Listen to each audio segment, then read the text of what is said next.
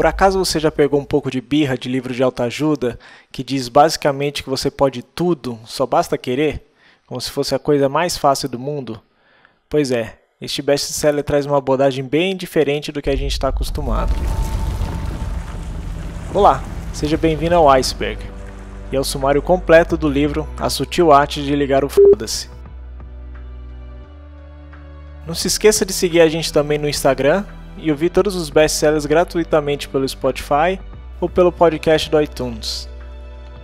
Bom, esse livro consegue, de um jeito leve e provocativo, jogar umas verdades bem no meio da nossa cara. Vai te mostrar que provavelmente você está em busca de uma felicidade maquiada e superficial. Infelizmente, você não é tão especial quanto pensa. Esse livro vai te ajudar também a descobrir o que realmente importa na sua vida e foda-se o resto.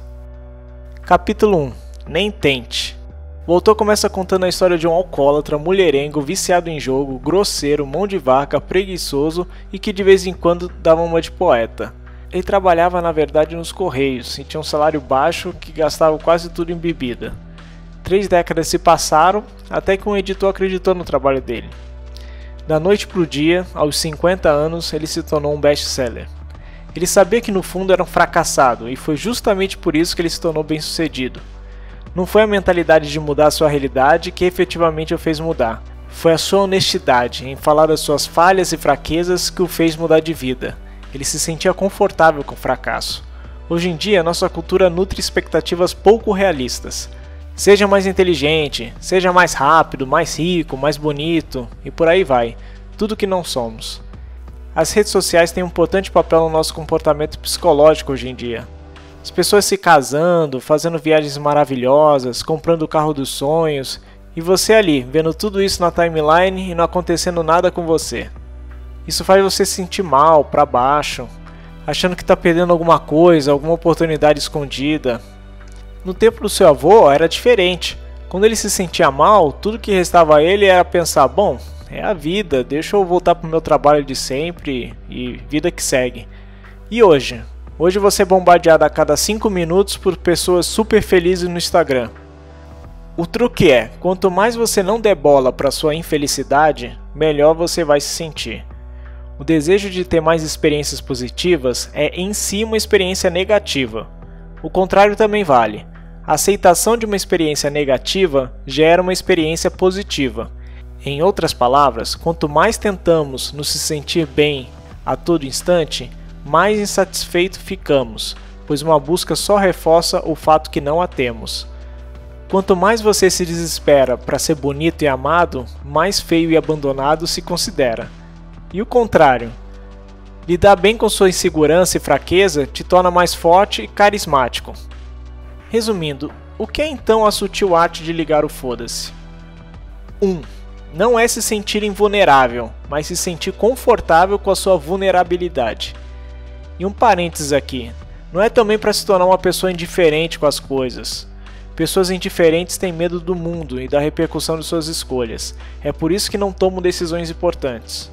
Portanto, quando é digo para ligar o foda-se, isso quer dizer para você não ligar para os obstáculos que o separam de seus objetivos. Não tem problema fazer papel de bobo, mas é importante seguir em frente.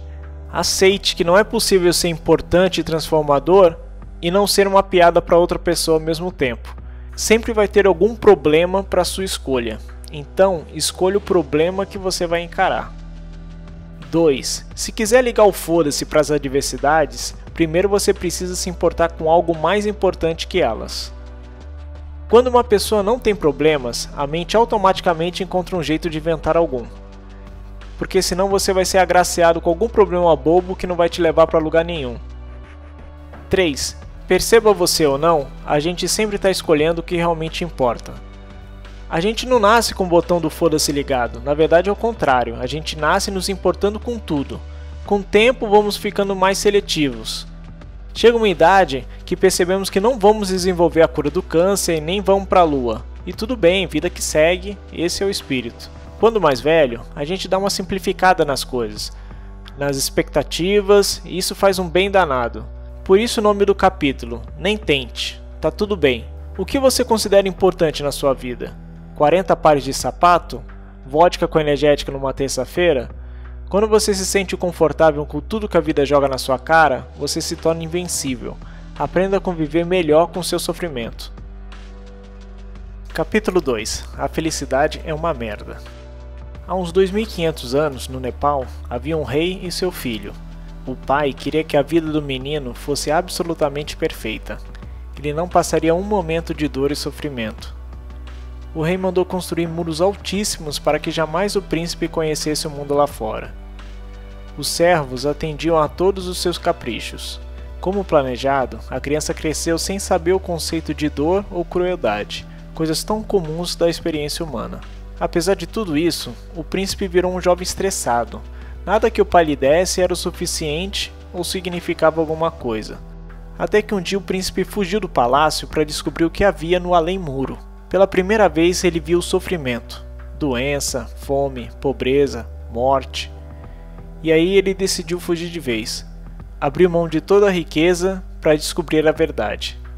Passou fome, frio e mendigaria pelo resto de sua vida.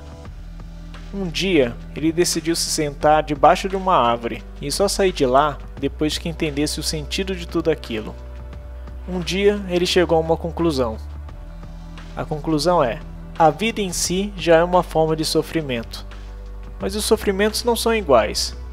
Os ricos também sofrem por serem ricos, só que eles sofrem pouco, mas também sofrem. Anos depois, ele formularia toda uma filosofia de vida e transmitiria pelo mundo. O princípio central dessa filosofia é: pare de resistir à dor e à perda, pois são inevitáveis. Esse príncipe se tornou conhecido como Buda, se você parar para pensar, do ponto de vista biológico, sofrer faz parte da natureza humana. A gente é programado para ficar insatisfeito e desejar o que não temos ainda.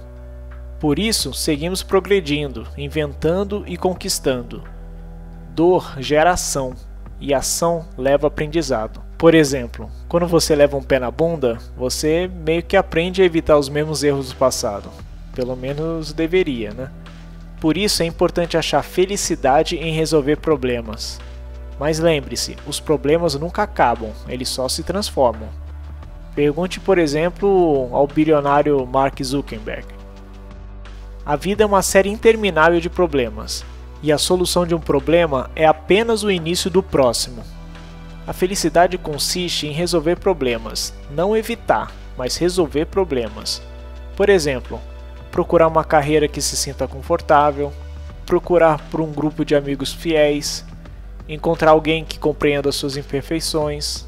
As pessoas negam e culpam os outros pelos próprios problemas simplesmente porque é fácil e provoca alívio, enquanto a resolver de verdade é difícil e muitas vezes gera sofrimento. Os sentimentos fazem parte da equação da vida, mas não são a única variável. Sentimentos são apenas conselhos que nosso cérebro dá sobre alguma situação. E nem sempre devemos confiar no conselho de alguém, muitas vezes nem de você mesmo. Tomar decisão pelo que o seu coração diz é pedir para dar problema. E tem mais: o que nos faz feliz hoje não nos fará feliz amanhã, porque a gente foi programado a sempre querer mais, nunca ser o suficiente. E agora uma pergunta: qual dor você quer na vida? Pelo que você está disposto a lutar? A felicidade se origina do esforço e dos problemas, e não da alegria. Por exemplo, ninguém fica musculoso sem antes sofrer numa academia. Você é definido pelas batalhas que está disposto a lutar. A vida é uma interminável espiral de resolver problemas onde a alegria está lá na subida. Capítulo 3 Você não é especial. Se sentir bem com você mesmo, infelizmente, não é sinônimo de alguém bem-sucedido. Geralmente, a adversidade e o fracasso fazem muito melhor para o desenvolvimento de uma pessoa. Existe muito conteúdo dizendo que a gente é excepcional. Isso eleva a nossa autoestima, mas isso também não nos leva muito longe. Existe muito conteúdo dizendo que a gente é excepcional, mas isso também não nos leva muito longe. Se você acredita que merece todas as maravilhas do mundo de mão beijada simplesmente porque deseja muito isso, você está sendo um pouco arrogante. Outro problema é que você precisa se achar importante o tempo todo, custe o que custar, senão a máscara cai e seus amigos e o universo perceberão que você na verdade é uma fraude. Manter esse ar de todo-poderoso pode até ser viciante, porém é insustentável a longo prazo. Para você avaliar realmente o valor de uma pessoa, o importante é medir como ela se vê em uma experiência negativa.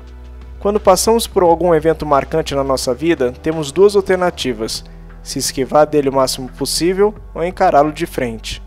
Se a gente decidir que não conseguimos resolver este problema, essa suposta incapacidade nos torna infelizes. Essa infelicidade é acompanhada de uma sensação estranha de achar que de alguma forma somos especiais e aqueles conselhos que recebemos de amigos, dos livros, da internet não se aplicam ao nosso problema particular. Sim, muitas vezes nos tornamos arrogantes em nosso sofrimento, como se ele fosse único. Então, como vimos, é possível ser arrogante de duas formas. 1. Um, eu sou incrível e vocês são os fracassados, então eu mereço tratamento especial. Ou 2. Eu sou um fracassado e vocês são incríveis, então eu mereço tratamento especial. Saber que seus problemas não são maiores que os dos outros já é o primeiro passo para resolvê-los. Mas parece que os jovens de hoje se esqueceram disso. Hoje em dia é comum um livro ser retirado do currículo escolar porque um aluno se sentiu mal com a leitura. Estamos vivendo uma época de arrogância. Quanto maior a liberdade de expressão, maior é o nosso desejo de nos vermos livres de qualquer um que possa discordar de nós. É um efeito colateral de uma maravilha chamada internet. Falando em internet, são os extremos que atraem os holofotes na internet. Ninguém liga pro mediano. Todos os dias somos inundados com o que é realmente extraordinário. O melhor do melhor, ou o pior do pior. A piada mais engraçada, a notícia mais perturbadora, sem parar. Essa inundação de extremos nos condicionou a acreditar que o excepcional é a norma. Isso nos deixa inseguros, pois, obviamente, somos apenas normais. E para compensar, elas acham que precisam ser mais extremas, mais radicais e mais autoconfiantes para serem notadas ou terem valor. Se todo mundo fosse extraordinário, então, por definição, ninguém seria. Pior do que ser infeliz, sofrido e oprimido seria ser mediano. Pelo menos quando você estava lá no fundo do poço, você poderia conseguir alguma atenção. A grande verdade é, as poucas pessoas que se tornaram especiais, elas alcançaram isso justamente porque não se acharam especiais. Como elas se achavam medíocres, elas se tornaram obcecadas em se aperfeiçoar. Isso é o inverso da arrogância. Aceitar verdades como o que você faz da vida não importa tanto assim, ou a maior parte da vida é mesmo tediosa e irrelevante, já é um grande passo. Tirar essa pressão de ser incrível e inovador o tempo todo vai te libertar para fazer muito mais coisas, sem julgamento ou medo de errar. De quebra, você vai apreciar mais as coisas simples da vida. Os amigos, ajudar alguém, ler um bom livro, criar alguma coisa e até ouvir um podcast. Capítulo 4 O valor do sofrimento. Esse capítulo começa contando a história de um segundo tenente japonês da Segunda Guerra Mundial chamado Hiro Onoda, ele tinha como ordem simplesmente lutar a todo custo e nunca se render ao inimigo. Porém, em 1945, o Japão se rendeu aos Estados Unidos, encerrando assim a guerra. O que aconteceu foi que muitos soldados japoneses não souberam do fim da guerra e acharam que a notícia fosse na verdade um boato, uma armadilha. Tempos depois, o governo japonês decidiu jogar milhares de folhetos onde eles achavam que os soldados remanescentes poderiam estar, mas não tiveram nenhum resultado. Hironoda continuou matando e se escondendo dentro da floresta. Com o passar dos anos, a história de Onoda foi se tornando uma verdadeira lenda no Japão. Um herói de guerra insano que se recusava a se render. Muitos acreditavam até que ele já tinha morrido há muito tempo. O fato é que depois de inacreditáveis 30 anos, Onoda foi encontrado e respondeu a pergunta que todos queriam ouvir: por que diabos ele havia permanecido e continuado a lutar? Ele disse que estava simplesmente cumprindo a ordem de jamais se render. É comum os seres humanos escolherem dedicar grandes períodos da vida a causas aparentemente inúteis ou destrutivas. À primeira vista, elas não têm muito sentido. No caso de Onoda, ele disse não se arrepender de nada. Tinha orgulho de suas escolhas e o tempo que passou lutando por um império que já não existia mais. Ele basicamente escolheu como queria sofrer. Tinha um significado. A ironia nisso tudo foi que Onoda ficou muito mais deprimido de volta à civilização do que sozinho 30 anos na floresta. Na floresta, pelo menos, ele tinha um propósito. Portanto, a pergunta que devemos fazer agora é: por que considera alguma coisa um sucesso ou um fracasso? Muitas pessoas não sabem expor esses porquês de forma exata. e isso as impede de obter um conhecimento mais profundo de seus valores. Os problemas podem ser inevitáveis, mas o que cada problema vai significar não é. Nós podemos controlar o que nossos problemas significam para a gente. Eis dois exemplos. Em 1983, um jovem talentoso guitarrista foi expulso de sua banda. Ele teve que voltar de Nova York para sua casa em Los Angeles. Aquilo corroeu por dentro. Ainda mais porque a ex-banda tinha acabado de assinar com uma produtora. Bom, assim que ele chegou de viagem, ele decidiu não desanimar e já montou uma banda nova. Essa banda nova seria tão bem sucedida que a antiga se arrependeria para sempre da decisão de tê-lo expulsado. Essa banda nova seria tão bem sucedida que a antiga banda se arrependeria para sempre da decisão de tê-lo expulsado. Ele ficaria tão famoso que os ex-colegas seriam forçados a passar décadas vendo na TV, ouvindo no rádio etc. De fato, tudo isso aconteceu. O guitarrista se chama David Mustaine e sua banda de heavy metal se chama Megadeth. Ela vendeu mais de 25 milhões de discos em todo o mundo. Porém, a banda que o expulsou há 35 anos atrás é nada mais, nada menos que o Metallica, que vendeu mais de 180 milhões de discos.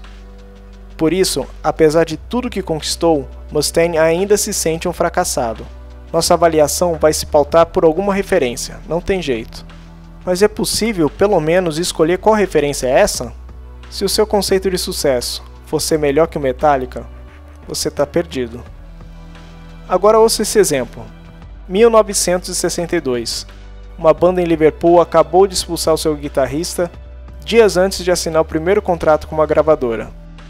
Essa banda se chamava Os Beatles e se tornaria o grupo musical mais importante de todos os tempos. O nome do baterista mais azarado do universo é Pete Best. Ele foi substituído por um cara chamado Ringo Starr. E o que acontece com Pete a partir daí? Ele basicamente caiu numa profunda depressão e só queria saber de beber. O tempo passou e até que em 1994 ele declara: Sou mais feliz do que seria com os Beatles. Como assim? Pete Best explicou que a expulsão dos Beatles foi o que levou a conhecer a sua esposa, com quem veio a ter filhos. Seus valores mudaram. Ele passou a avaliar sua vida segundo outros parâmetros. Fama e glória teriam sido ótimos, é claro, mas Pete compreendeu a dimensão maior que havia conquistado: uma família grande e amorosa, um casamento estável e uma vida tranquila. Quando negamos nossos problemas, nos privamos da chance de resolvê-los e com isso criar felicidade. Por incrível que pareça, são os problemas que nos geram uma sensação de propósito e dão gosto à vida. Ao longo prazo, correr uma maratona nos deixa mais felizes que comer um bolo de chocolate. Abrir uma empresa com os amigos e vencer dificuldades financeiras nos deixa mais felizes que comprar um celular novo são as atividades mais difíceis que nos proporcionam os momentos mais marcantes das nossas vidas. Existe uma frase muito interessante de Freud que diz: Um dia, quando olhar para trás, os anos de luta lhe parecerão mais bonitos. Capítulo 5 Você está sempre fazendo escolhas. Quando você escolhe determinado desafio por livre e espontânea vontade e se prepara para isso, o evento se torna um marco glorioso na sua vida, como por exemplo uma maratona. Mas se esse desafio for forçado, pode se tornar uma das experiências mais apavorantes possíveis. Muitas vezes, a única diferença entre um evento doloroso e um evento poderoso é a sensação de que escolhemos passar por aquilo. Quando acreditamos ter escolhido nossos problemas, nos sentimos empoderados. Certa vez, um rapaz chamado William James decidiu, depois de sofrer muito bullying dos amigos e dos próprios pais devido à sua frágil condição de saúde, que passaria um ano acreditando 100% ser responsável por tudo que ocorria na sua vida. Se nada melhorasse ao final desse ano, ele se mataria. Um resultado? William James se tornou o pai da psicologia nos Estados Unidos. Esse experimento foi a causa de tudo que conquistou na vida.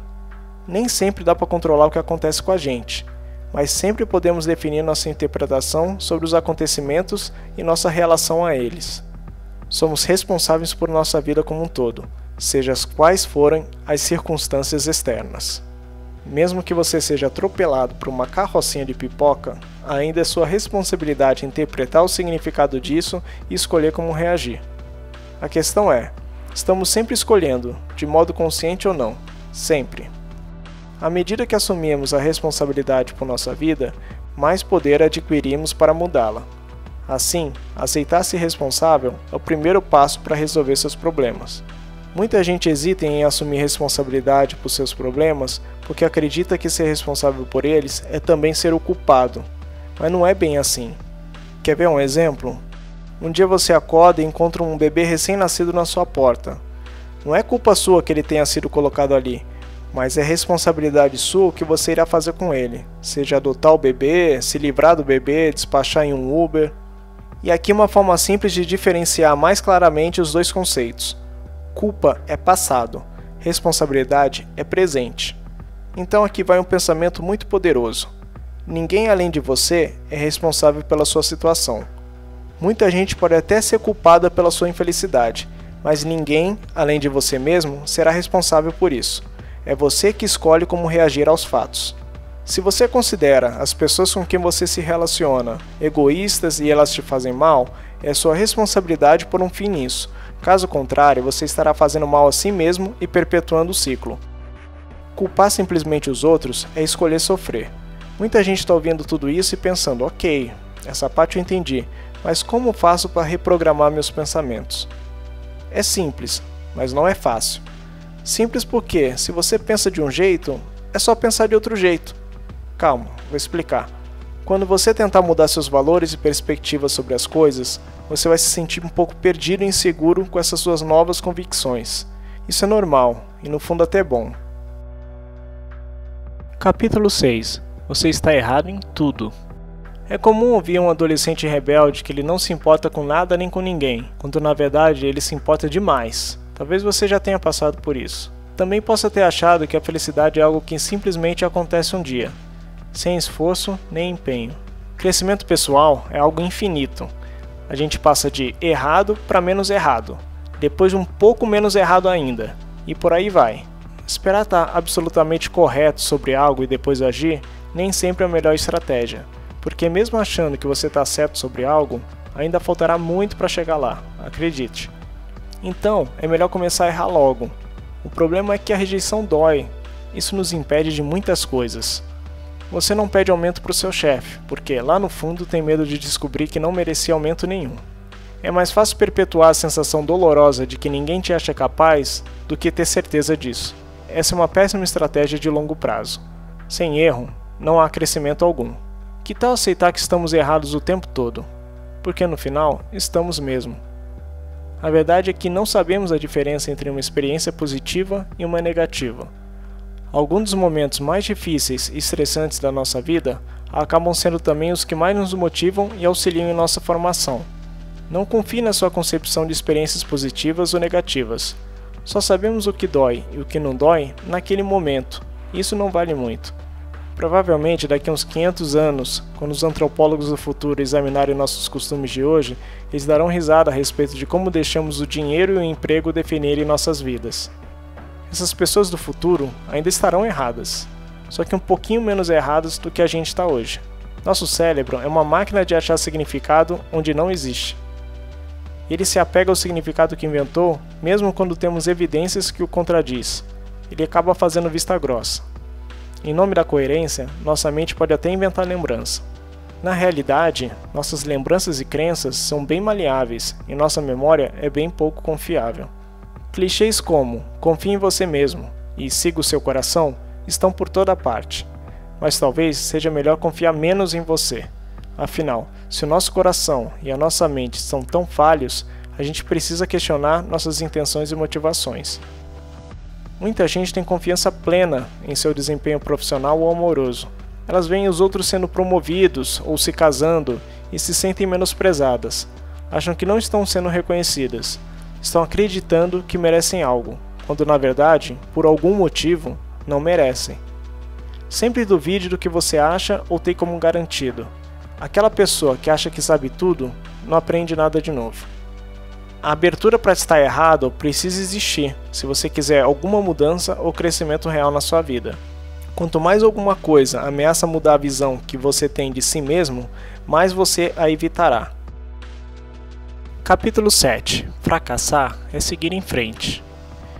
Existe a história de que Pablo Picasso estava num café na Espanha, desenhando num guardanapo usado. Uma mulher que estava próximo a ele ficou observando de longe aquele rabisco sendo feito.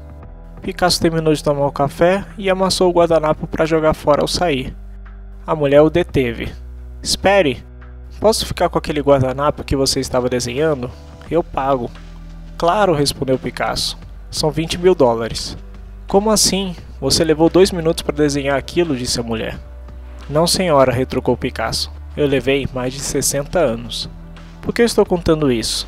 Se alguém é melhor que você, provavelmente ele cometeu mais erros. Considere uma criança pequena aprendendo a andar. Sabemos que ela vai cair e se machucar centenas de vezes, mas em nenhum momento ela para e pensa: Bom, acho que andar não é a minha, não tenho talento para isso. Na década de 1950, um psicólogo estudou sobreviventes poloneses da Segunda Guerra Mundial e seus diferentes modos de lidar com as experiências traumáticas que tinham vivido na guerra. Nesse estudo, o doutor notou algo surpreendente. Apesar de terem sofrido tortura, fome e tudo de pior no Holocausto, uma parte considerável acreditava ter se tornado pessoas melhores, mais responsáveis e, pasmem, até mais felizes. Eles relataram que antes da guerra eles não tinham muita gratidão pelas coisas, eles eram preguiçosos e se achavam merecedores. Depois da guerra, sentiram-se mais confiantes, mais agradecidos e não se deixavam abalar por trivialidades e pequenos aborrecimentos do dia a dia. Essas pessoas tinham conseguido canalizar todo o sofrimento para uma transformação pessoal positiva e poderosa. A dor faz parte do processo. Aprenda a suportar a dor que você escolheu. Ao escolher o um novo valor, você também está escolhendo um novo tipo de dor em sua vida. Portanto, aproveite, experimente. Depois continue agindo apesar da existência dessa dor. A vida se resume a não saber nada e agir mesmo assim. Outra dica: se você está empacado em algum problema, não fique parado pensando. Comece. Mesmo que você não saiba o que está fazendo, o simples ato de entrar em ação e tentar solucionar o problema vai acabar fazendo as ideias certas aparecerem na sua cabeça. A ação não é apenas consequência da motivação, ela é também a causa. O que isso quer dizer? A maioria das pessoas só age quando se sente motivada em certo nível, e só nos sentimos motivados quando temos inspiração. Mas na grande maioria das vezes isso não acontece, certo? Então o truque é apenas começar. O autor conta a história de um famoso escritor com mais de 70 livros publicados. Quando alguém perguntou ao sujeito qual era o segredo, ele disse: São 200 palavras ruins por dia. Só isso. A ideia era que, ao se esforçar a escrever 200 palavras ruins por dia, certamente o puro ato de escrever o inspiraria. E quando ele percebesse, ele já tinha milhares de palavras escritas. Capítulo 8 A importância de dizer não.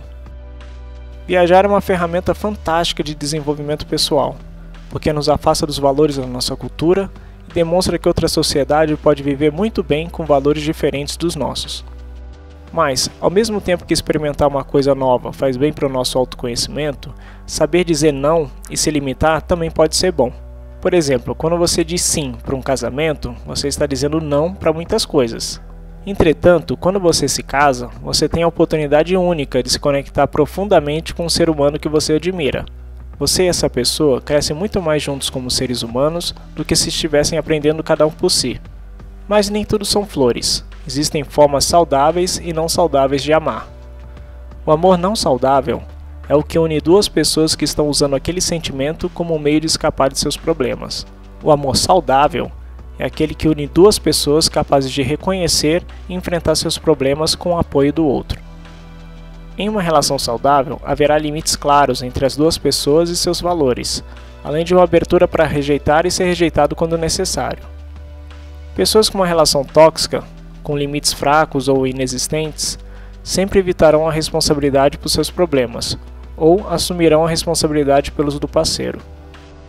Em geral, pessoas arrogantes esperam que os outros assumam a responsabilidade de seus problemas. Exemplo: Eu queria passar um fim de semana relaxante em casa. Você deveria saber e cancelar seus planos. Ou então, assume responsabilidade demais pelos problemas das outras pessoas. Por exemplo: Puxa, ela foi demitida de novo, mas deve ter sido culpa minha, porque não deu o apoio que ela precisava. Uma mãe dominadora, por exemplo, assume a responsabilidade por todos os problemas que surgem na vida dos filhos. Ninguém pode resolver os seus problemas. E nem deveriam tentar, porque isso não vai fazê-lo feliz a longo prazo. Um relacionamento saudável é aquele que cada um resolve seus problemas para se sentir bem com o outro.